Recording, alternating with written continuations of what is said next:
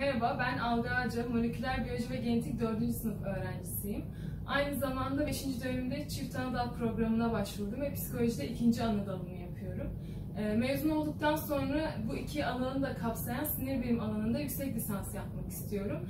Ee, araştırmacı olarak devam etmek istiyorum.